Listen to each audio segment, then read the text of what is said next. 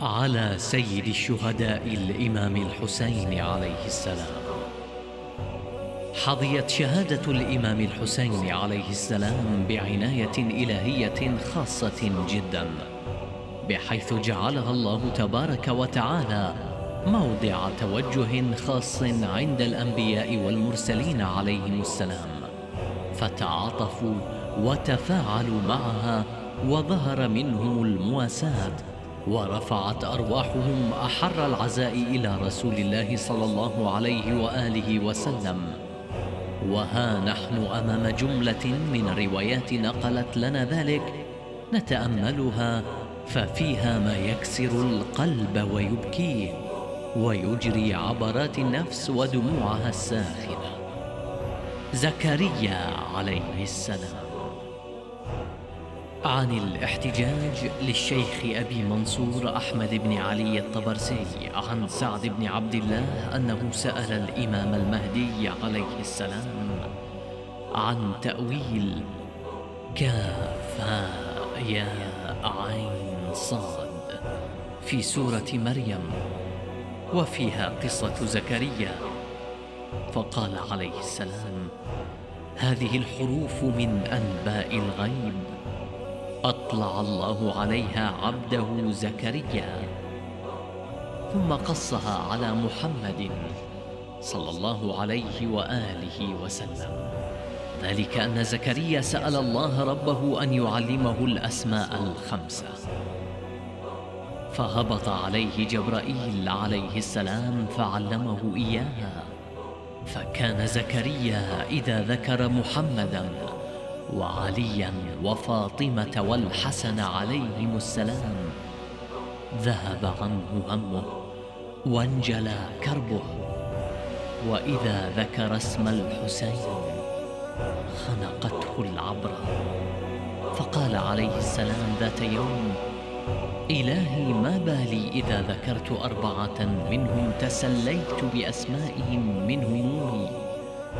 وإذا ذكرت الحسين تدمع عيني وتفور زفرتي. فأنبأه الله تبارك وتعالى عن قصته.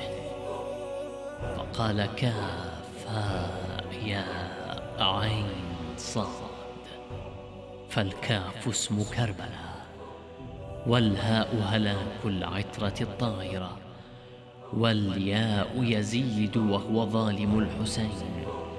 والعين عطشه عليه السلام والصاد صبره عليه السلام. فلما سمع ذلك زكريا لم يفارق مسجده ثلاثة أيام ومنع فيهن الناس من الدخول عليه وأقبل على البكاء والنحيب.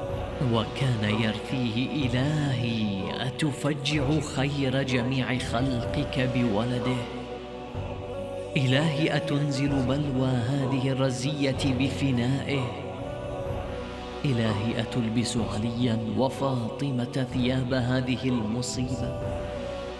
إلهي أتحل كربة هذه المصيبة بساحتهما. ثم كان يقول إلهي ارزقني ولدا تقر به عيني على الكبر. فإذا رزقتنيه فافتني بحبه ثم أفجعني به كما تفجع محمدا حبيبك بولده. فرزقه الله يحيى وفجعه به.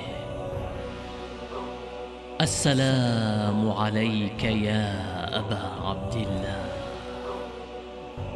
وعلى الأرواح التي حلت بفنائك عليك مني سلام الله أبدا ما بقيت. وبقي الليل والنهار. ولا جعله الله آخر العهد مني لزيارتكم. السلام على الحسين. وعلى علي بن الحسين. وعلى أولاد الحسين. وعلى أصحاب الحسين.